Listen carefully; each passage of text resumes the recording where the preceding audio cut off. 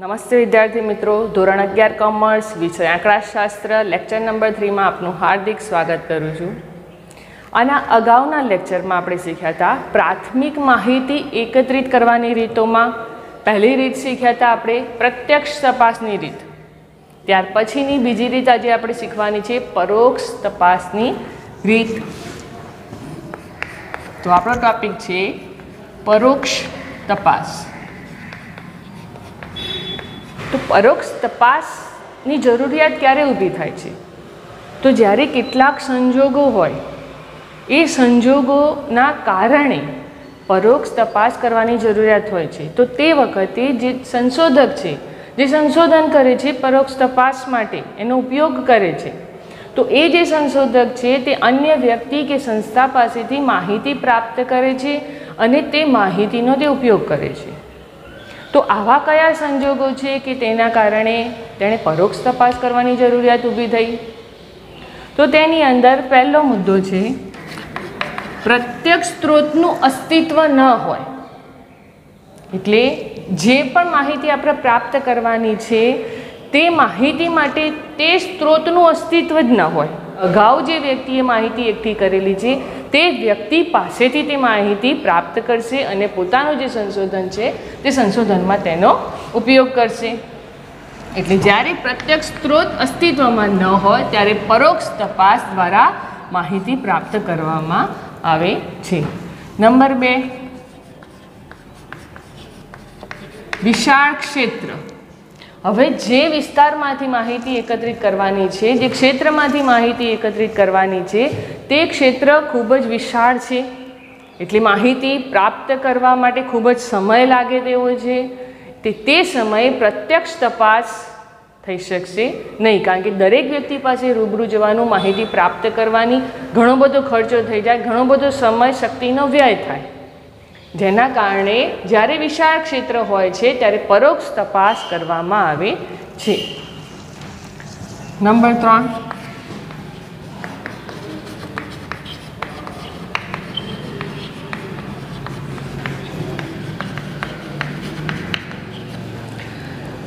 તો માહિતી ગૂંચવાડા ભરેલી હોય. જે વિસ્તારમાંથી, જે ક્ષેત્રમાંથી માહિતી પ્રાપ્ત કરવાની છે તે માહિતી ગૂંચવાડા ભરેલી હોય, સ્પષ્ટ હોય નહીં. દાખલા તરીકે કોઈ વિસ્તારમાં જઈને માહિતી પ્રાપ્ત કરવી છે, તો તે વિસ્તારની અંદર જે પણ માહિતી આપણે જોઈએ છીએ તે પ્રમાણેના લોકો નથી. તમામ ધર્મના, તમામ ક્ષેત્રના, તમામ વિસ્તારના, તમામ લાયકાતના છે. એટલે જે પણ માહિતી જોઈએ છે તે એક જ સ્થળેથી એક જ પ્રકારની માહિતી પ્રાપ્ત થશે નહીં. તો તે સમયે પરોક્ષ તપાસ હાથ ધરવામાં આવે છે એટલે અન્ય વ્યક્તિ કે સંસ્થા પાસેથી માહિતી મેળવવામાં આવે છે અને તે માહિતીનો ઉપયોગ થાય છે. નંબર ચાર. ખર્ચ વધુ. જ્યારે માહિતી મેળવવાની છે, ત્યારે અસહ્ય ખર્ચ થવાની સંભાવના હોય. વધુ પ્રમાણમાં ખર્ચ થવાનો હોય અને ખર્ચ સહન થાય તેવો ન હોય. એટલે કે તેની કેપેસિટી બહારનો હોય. તો તે સમયે પ્રત્યક્ષ તપાસની જગ્યાએ પરોક્ષ તપાસ હાથ ધરવામાં આવે છે અને સંશોધનમાં તેનો ઉપયોગ થાય છે. તો આપણે ફરીથી તે સંજોગો જોઈ લઈએ. તો પ્રત્યક્ષ સ્ત્રોત અસ્તિત્વમાં ન હોય, એટલે કે જે વિસ્તારની જે ક્ષેત્રની માહિતી, જેની માહિતી મેળવવાની છે, તેનું અસ્તિત્વ જ ન હોય, તો તમે માહિતી ક્યાંથી પ્રાપ્ત કરવાના? એટલે પરોક્ષ તપાસ કરવામાં આવે છે. વિશાળ ક્ષેત્ર. તો જ્યારે વિશાળ ક્ષેત્રમાંથી માહિતી મેળવવાની હોય, તો તે સમયે એ વિસ્તારના દરેક વ્યક્તિ પાસે પ્રત્યક્ષ રીતે રૂબરૂ જવાનું મુશ્કેલ બને છે. તો તે સમયે પરોક્ષ તપાસ કરવી વધુ યોગ્ય છે. માહિતીનું સ્વરૂપ ગૂંચવાડા ભરેલું હોય, એટલે જે પણ માહિતી પ્રાપ્ત કરવાની છે, તે માહિતી સ્પષ્ટ ન હોય, ગૂંચવાડા ભરેલી હોય, તો તે સમયે પણ પરોક્ષ તપાસ હાથ ધરાય છે. ખર્ચ વધુ એટલે કે અસહ્ય ખર્ચ આવવાની સંભાવના હોય તે સમયે પ્રત્યક્ષ તપાસ કરી શકાતી નથી. પરોક્ષ તપાસનો ઉપયોગ કરવામાં આવે છે. આપણે એક્ઝામ્પલ તરીકે લઈએ તો કયા કયા સંજોગોમાં? તો એક્ઝામ્પલ તરીકે કોઈ એકમની અંદર કારીગરો કાર્ય કરતા હોય અને સંશોધકને તે કારીગરો વિશેની માહિતી જોઈતી હોય. કે તેમની લાયકાત કેટલી છે, તેમનું શૈક્ષણિક સ્તર કેટલું છે, તેમનો અનુભવ કેટલો છે, તેમની શારીરિક શક્તિ કેટલી છે.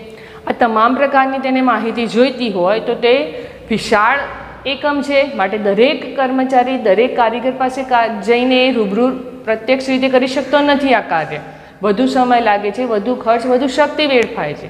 માટે તે એકમના જે મેનેજર છે, તે મેનેજર પાસે આ તમામ પ્રકારની માહિતી રહેવાની. એટલે તે સંશોધક મેનેજર પાસેથી આ તમામ માહિતી સરળતાથી ઓછા સમયની અંદર પ્રાપ્ત કરી શકે છે.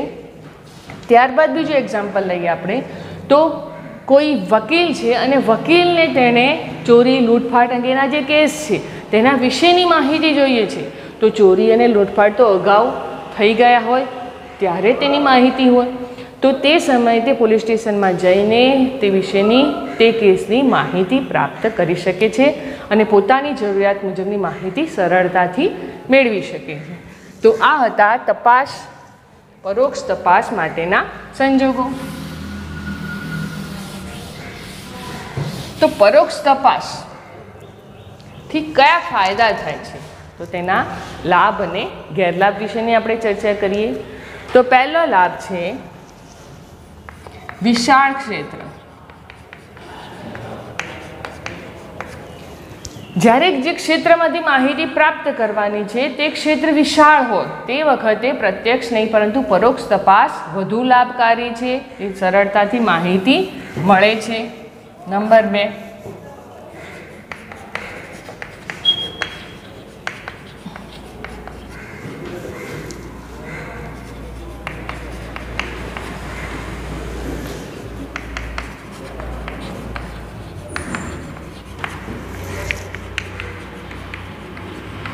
હવે જે વ્યક્તિ પાસેથી માહિતી મેળવવાની છે, તે વ્યક્તિ માહિતી આપવા માટે તૈયાર હોય નહીં.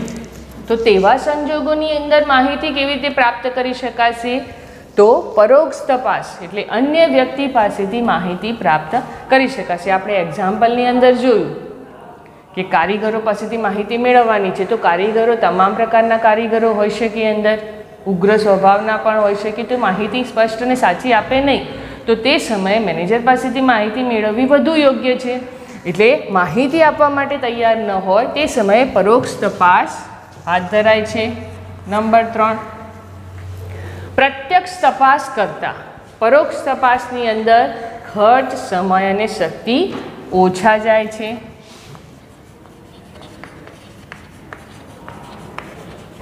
અને શક્તિ પ્રત્યક્ષ તપાસ કરતા ઓછા થાય છે. અને નંબર ચાર. સરકારના જે વિભાગો હોય છે, જુદા જુદા પ્રકારના સરકારના વિભાગો હોય છે, તો એ વિભાગ માટે જુદી જુદી માહિતી એકત્રિત કરવાની હોય, તો તે માહિતી એકત્રિત કરવા માટે પણ પરોક્ષ તપાસનો ઉપયોગ થાય છે. એટલે સરકારના સરકારી જુદા જુદા વિભાગ. માટે જુદી જુદી માહિતી.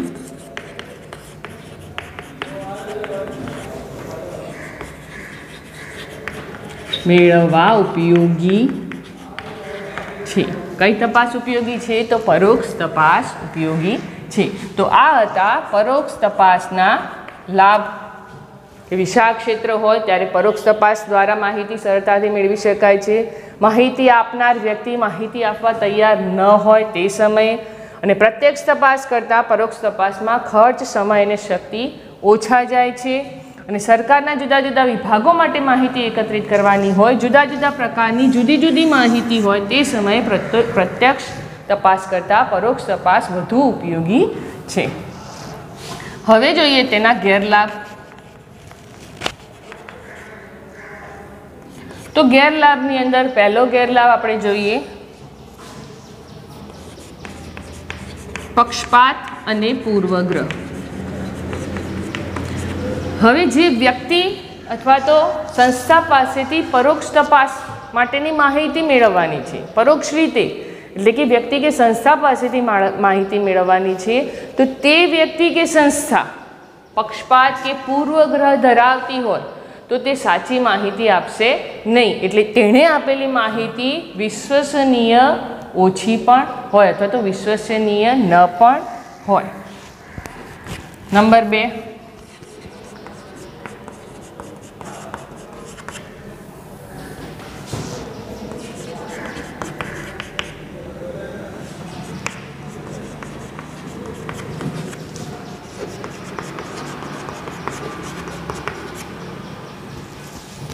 અપ્રમાણિક અને કાબેલિયત ન ધરાવતો હોય.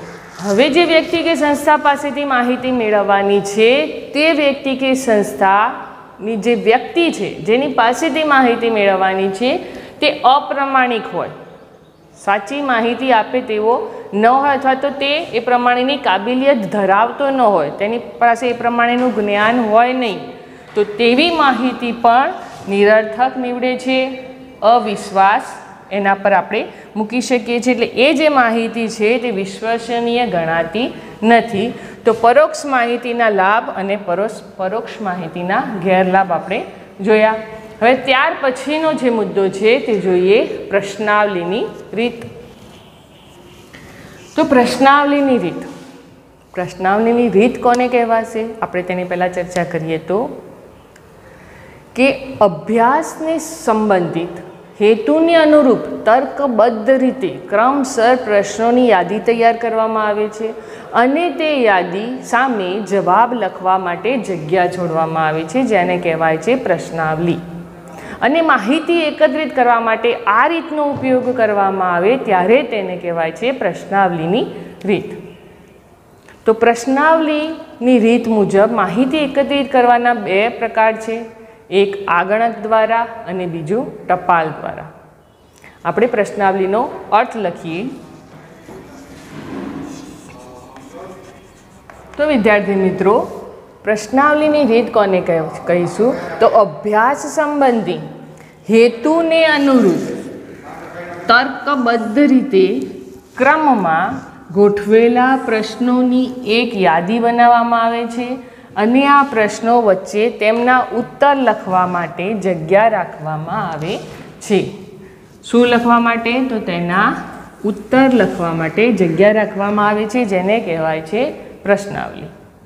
અને માહિતી એકત્રિત કરવા માટે જો આ રીતનો ઉપયોગ કરાય છે, તો તે રીતને કહેવાય છે પ્રશ્નાવલીની રીત. હવે પ્રશ્નાવલીની રીત દ્વારા માહિતી એકત્રિત કરવાની બે રીતો. નંબર એક ટપાલ દ્વારા. અને નંબર બે આગણક દ્વારા. એટલે કે પ્રતિનિધિ દ્વારા.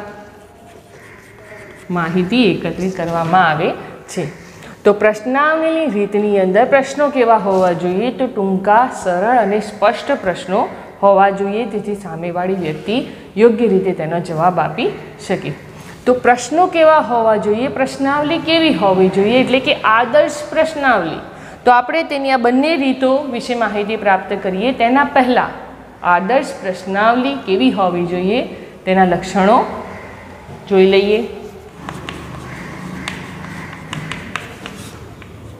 તો પહેલું લક્ષણ,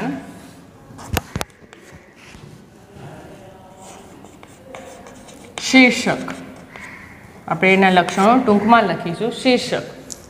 તો જે પણ પ્રશ્નાવલી તૈયાર કરી છે, આદર્શ પ્રશ્નાવલી, યોગ્ય રીતે, તર્કબદ્ધ રીતે વિચારીને ક્રમસર પ્રશ્નો લખવામાં આવ્યા છે. તો શરૂઆતમાં એનું મથાળું તો મૂકવું પડશે. એટલે કોઈ પત્ર મૂકવો પડે અથવા તો તે પ્રશ્નાવલીને શીર્ષક આપવું પડે કે જેથી પ્રશ્નોના જવાબ આપનાર ઉત્તરદાતા યોગ્ય રીતે, તેનું અર્થઘટન યોગ્ય રીતે કરી શકે અને યોગ્ય રીતે તે જવાબો આપી શકે તે માટે યોગ્ય શીર્ષક આપવું જોઈએ, મથાળું યોગ્ય રીતે આપવું જોઈએ. નંબર બે.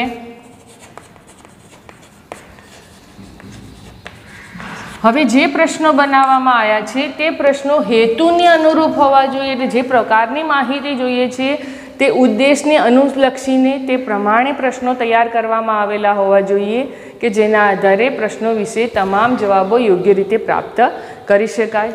નંબર ત્રણ.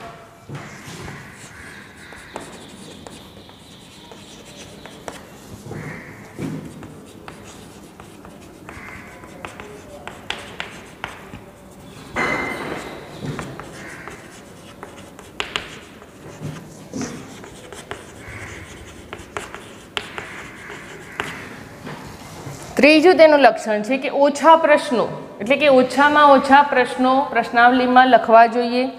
વધુ પ્રશ્નો થઈ જાય છે તો તેના વિભાગ પાડવા જોઈએ અને એક વિભાગમાં વધુમાં વધુ પચીસ પ્રશ્નો લખવા જોઈએ કે જેથી ઉત્તરદાતા જવાબ આપતી વખતે કંટાળી જાય નહીં. દાખલા તરીકે પંચોતેર ક્વેશ્ચન છે તો એકથી પંચોતેર સુધી પ્રશ્નોના જવાબો લખતા લખતા વચ્ચે તે કેટલાક જવાબો ખોટા પણ લખી શકે છે, કંટાળી પણ જાય છે. એટલે સાચા જવાબો આપ મળતા નથી. તો તે સમયે એના કેટલાક વિભાગો, એટલે કે આપણે પંચોતેર પ્રશ્નો છે, તો તેના ત્રણ વિભાગો પાડી દેવા જોઈએ. ત્રણ વિભાગ, એટલે પચીસ પચીસ, પચીસના ત્રણ વિભાગ પાડવાથી જે પણ ઉત્તરદાતા છે, તે યોગ્ય જવાબ આપશે, કંટાળશે નહીં. ત્યારબાદ નંબર ચાર, પ્રશ્નો સરળ, ટૂંકા અને સ્પષ્ટ. જે પણ પ્રશ્નો પૂછવાના છે, તે પ્રશ્નોનું સ્વરૂપ કેવું જો હોવું જોઈએ? પ્રશ્નો સરળ હોવા જોઈએ, ઝડપથી તેના ઉત્તર મળી રહે તેવા ટૂંકા હોવા જોઈએ, બહુ લાંબા પ્રશ્નો ન હોવા જોઈએ અને સ્પષ્ટ દ્વિઅર્થી પ્રશ્નો હોવા જોઈએ નહીં, કે જેના બે અર્થ થતા હોય. આપણે એક્ઝામ્પલ તરીકે લઈએ, તો પ્રશ્ન એવો હોય કે તમે શિક્ષિત છો, તો તેના ઘણા બધા અર્થ થાય. એટલે એની જગ્યા પર એ રીતે પ્રશ્ન કરી શકાય કે તમે ક્યાં સુધીનું શૈક્ષણિક સ્તર પ્રાપ્ત કરેલું છે. કે જેના વિકલ્પની અંદર તમે મૂકી શકો. કાં તો તમે અભણ છો, કાં તો માધ્યમિક સુધીનું તમે શૈક્ષણિક સ્તર પ્રાપ્ત કર્યું છે, કાં તો ઉચ્ચતર, કાં તો કોલેજ કક્ષાનું. તો તે પ્રમાણેના ઓપ્શન મૂકી શકાય. પરંતુ તમે શિક્ષિત છો તેવો પ્રશ્ન કરી શકાય નહીં. એટલે કે દ્વિ અર્થ થતા હોય તેવા પ્રશ્નો પૂછી શકાય નહીં. ત્યારબાદ નંબર પાંચ તાર્કિક અને ક્રમબદ્ધ. જે પણ પ્રશ્નો છે તે તાર્કિક પ્રશ્નો હોવા જોઈએ, જે પણ ઉદ્દેશ છે તેને અનુરૂપ હોવા જોઈએ, અને પ્રશ્નો ક્રમબદ્ધ. કે પહેલો પ્રશ્ન છેલ્લે ના પૂછી શકાય અને છેલ્લો પહેલે પૂછી શકાય નહીં. એટલે પ્રશ્ન એવા ના પૂછી શકાય કે તમે સ્માર્ટફોન વિશે શું જાણો છો?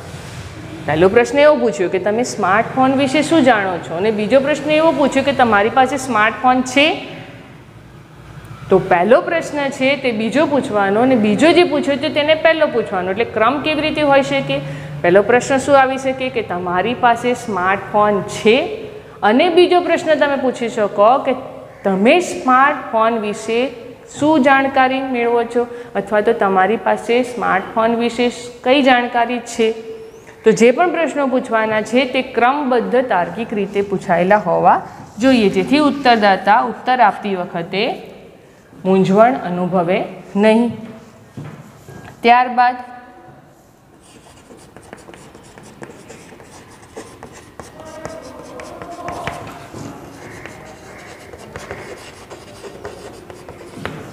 અંગત જીવનને લગતા પ્રશ્નો પૂછવાનું ટાળવું. એટલે અંગત જીવનને લગતા પ્રશ્નો પ્રશ્નો પૂછવા જોઈએ નહીં. એટલે તેના લગ્ન જીવનના પ્રશ્નો પૂછવા જોઈએ નહીં, તેમની આવક વિશેના પ્રશ્નો પૂછવા જોઈએ નહીં. અને કેટલીક બાબતો વખતે પ્રશ્નો પૂછવાની જરૂરિયાત જ હોય. ફરજિયાત એ પ્રશ્ન પૂછવો પડે તેમ જ હોય. તો પ્રશ્ન પૂછતી વખતે અગાઉથી તેમને જણાવવું જોઈએ કે તમે જે માહિતી આપો છો, તે માહિતી અહીં સુધી જ રહેશે. બીજા કોઈ વ્યક્તિ તેનો દુરુપયોગ કરી શકશે નહીં. જે હેતુ માટે માહિતી જોઈએ છે, તે હેતુ પૂરતો તેનો ઉપયોગ અમે કરીશું. અન્ય હેતુ માટે ઉપયોગ કરીશું નહીં. તે માટેની ખાતરી આપવી જોઈએ.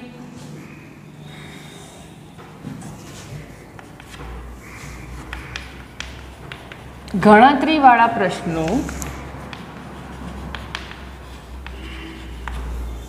પૂછવાનું ટાળવું જોઈએ.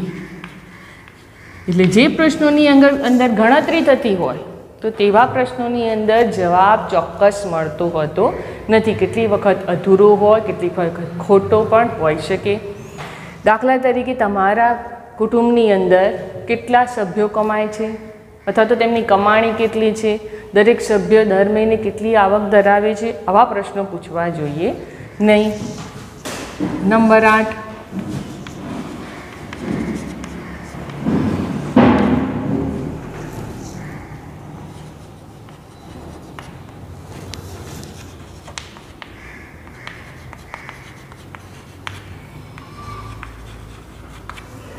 હવે જે પ્રશ્નો પૂછવામાં આવ્યા છે, તે પ્રશ્નો હા અથવા તો ના. અથવા તો વિકલ્પવાળા પ્રશ્નો પૂછવા જોઈએ, વિકલ્પ વગરના પ્રશ્નો પૂછવા જોઈએ નહીં. એટલે જેનો પર્ટિક્યુલર કોઈ વિકલ્પ હોય, તેવા વિકલ્પ અથવા તો હા કે નામાં જવાબ આપી શકાય તેવા પ્રશ્નો પૂછવા જોઈએ, વિકલ્પ સિવાયના પ્રશ્નો પૂછવા જોઈએ નહીં. તે સમયે જવાબ ખોટો પણ આપી શકાય છે.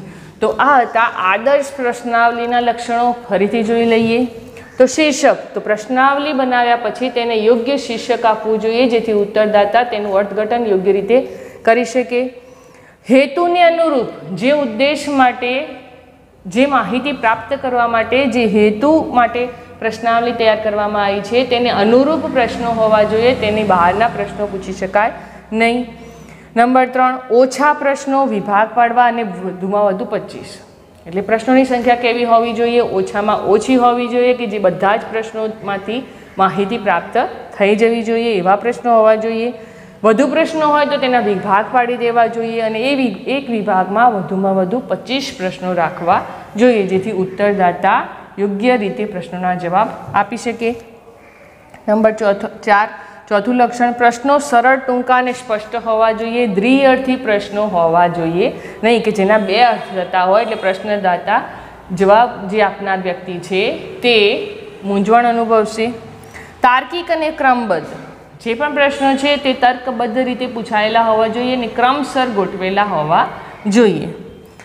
અંગત જીવનને લગતા પ્રશ્નો પૂછવાનું ટાળવું જોઈએ, કારણ કે અંગત જીવનને લગતા પ્રશ્નો જ્યારે પૂછવામાં આવે છે, ત્યારે ઉત્તરદાતા સાચો જવાબ આપશે નહીં, એટલે એવા પ્રશ્નો પૂછવા જોઈએ નહીં. ગણતરીવાળા પ્રશ્નો પણ પૂછવા જોઈએ નહીં, કારણ કે ગણતરીવાળા પ્રશ્નોની અંદર પણ ખોટા જવાબ આવવાની શક્યતા વધુ રહે છે. પ્રશ્નો હા કે નામાં પૂછાયેલા હોવા જોઈએ, અથવા તો પર્ટિક્યુલર તેનો કોઈ વિકલ્પ હોવો જોઈએ. વિકલ્પ સિવાયના પ્રશ્નો પૂછવા જોઈએ નહીં. તો આ જે તમામ માહિતી હતી તે આદર્શ પ્રશ્નાવલીના લક્ષણો. હવે પ્રશ્નાવલીની જે બે રીતો છે, ટપાલ દ્વારા અને આગણક દ્વારામાં આપણે ટપાલ દ્વારા જે પ્રશ્નાવલી છે, તેની માહિતી પ્રાપ્ત કરીશું. ટપાલ દ્વારા, પ્રશ્નાવલીની રીતની અંદર પહેલી રીત છે ટપાલ દ્વારા.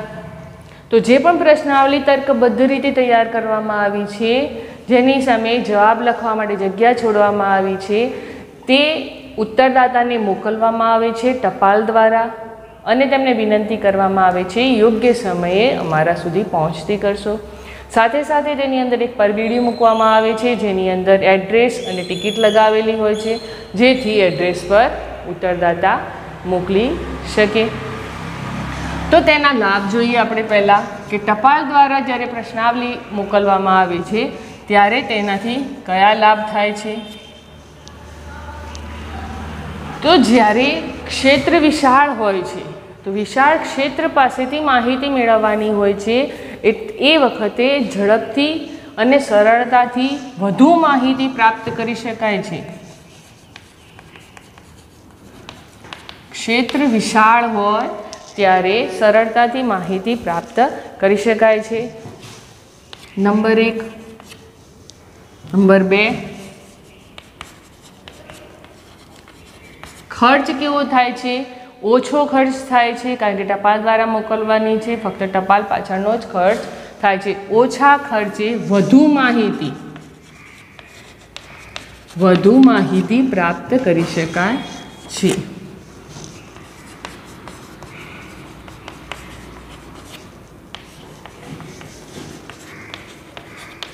હવે જે વિસ્તારમાંથી માહિતી પ્રાપ્ત કરવાની છે, તે વિસ્તારમાં પ્રત્યક્ષ જવું શક્ય ન હોય, ટેલિફોન દ્વારા પણ માહિતી પ્રાપ્ત થઈ શકતી ન હોય, તો તે સમયે ટપાલ દ્વારા, પ્રશ્નાવલી દ્વારા માહિતી સરળતાથી પ્રાપ્ત કરી શકાય છે.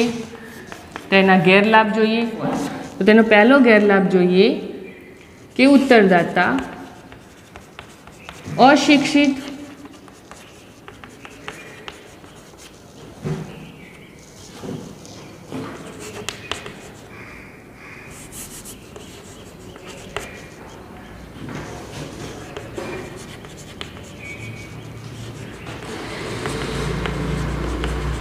ઉત્તરદાતા અશિક્ષિત હોય તેમજ સહકાર આપતો ન હોય, તો તેવા સમયે પ્રશ્નાવલીની રીત ઉપયોગી નીવડતી નથી, કારણ કે તે અશિક્ષિત છે, તે લખી શકશે નહીં તેના જવાબો અને સહકાર પણ આપવા માટે તૈયાર નથી, તો તે સમયે પ્રશ્નાવલીની રીત ઉપયોગી સાબિત થશે નહીં.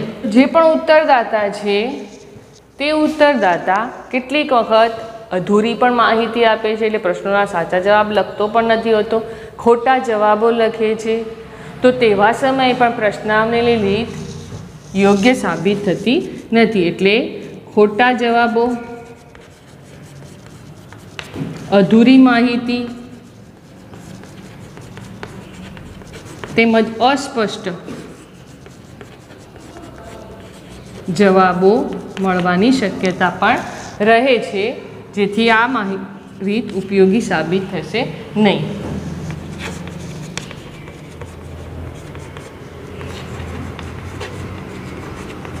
ઉત્તરદાતા આળસુ હોય.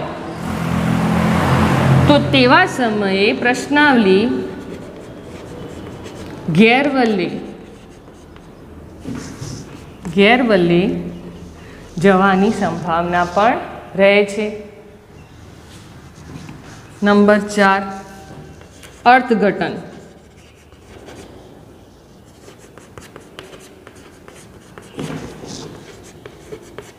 જે પણ અર્થઘટન કરવામાં આવ્યું હોય, જે પ્રશ્નો હોય તેનું અર્થઘટન કરવા માટે સામે કોઈ વ્યક્તિ હાજર નથી, તો તેવા સમયે જે ઉત્તરદાતા છે, તે પોતાની રીતે તેનો જવાબ લખશે.